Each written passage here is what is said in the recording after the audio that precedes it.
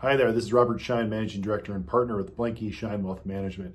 Well, in today's edition of observations and things that we're, we're looking at or just news we're going to share uh, for our clients, friends, and family, um, please, uh, thanks for your positive notes and, and all your great feedback. I think uh, we're getting a lot of great feedback from clients, even uh, requesting more, more of these videos. So as we're all at home, uh, it's a new reality. Uh, our thoughts and prayers with anybody, especially the medical workers, um, and, and what they're doing for all of us. So we, we thank you for that. Um, and if you need anything, we're here for you. So let's get right to it. Well, today we're going to talk about a key observation that uh, was actually on CNBC this morning. Uh, one of their commentators, Bob Pisani, we all know Bob, he's a great reporter for many years to come. He interviewed even a, a bigger legend, if you will, Art Cashin. Art is the uh, head for the UBS floor trading um, on the New York Stock Exchange. And he's done so for just under 60 years, being on the floor of the New York Stock Exchange.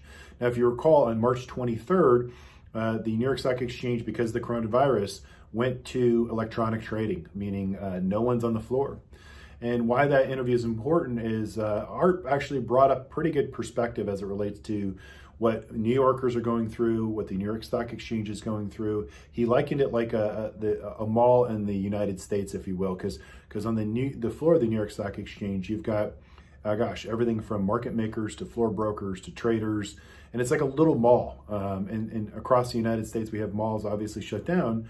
So, uh, and, and New York is being hit hardest uh, through this uh, pandemic.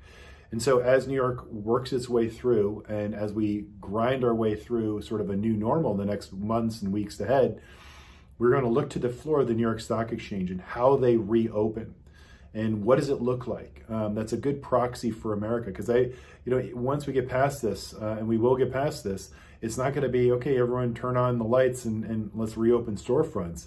It's going to be sort of a thoughtful, measured pace. And so the New York Stock Exchange is going to be one of that proxies for America sort of getting out of this. And, and uh, they always have, have through years to come, through 9-11 and World War II, uh, and even through the Depression. So New York Stock Exchange is the heart of America and uh, as, as well as the New Yorker. So thoughts and prayers to everybody and thanks for listening. So lastly, I want to share some good news with you. It's uh, a friend from John Krasinski. He uh, was an actor, is, is actually, his, his role was Jim on The Office. Uh, in the Schein household, I've got teenagers.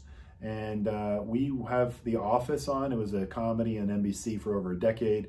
A couple weeks back, they just celebrated their 15th year anniversary of the show itself.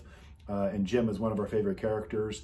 Uh, he created uh, some good news network. Uh, I think he went out there to the internet, especially since he's in quarantine, and he produced a 15 minute uh, video uh, that's on YouTube. Again, the link is provided uh, within this uh, down below, but it is probably going to be the, one of the best things you've seen all week. So we're just happy to share it with you and uh, sort of change your outlook and, and start the good week. So uh, God bless everyone. If you need anything, again, we're here for you at Blanke Schein Wealth Management.